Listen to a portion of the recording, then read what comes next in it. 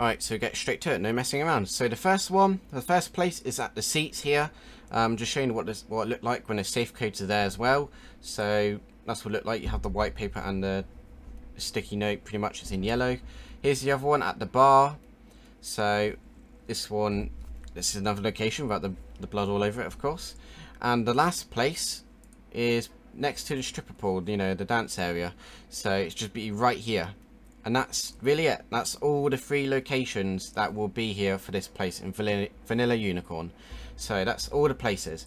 Um, so yeah, that's really it. So if this video helped though, um, make sure to give this video a like.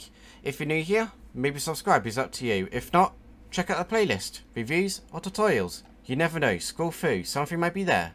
If not, thank you for watching this video everyone.